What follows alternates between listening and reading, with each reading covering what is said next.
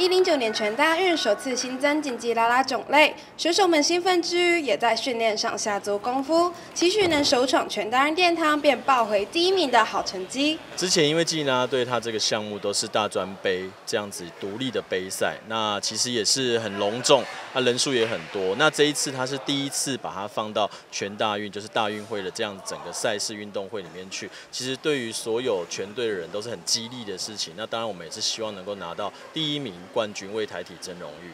此次全大运竞技啦啦队将参加五人制男女混合团体组以及双人组的彩球项目。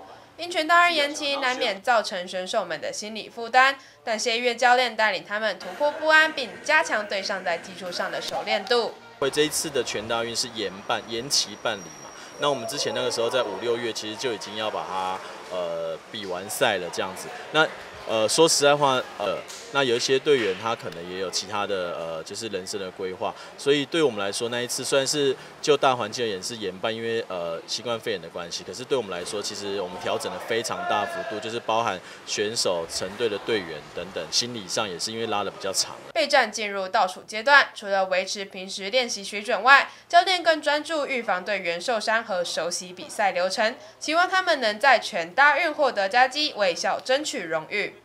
记者林金如、吴婷怡台中报道。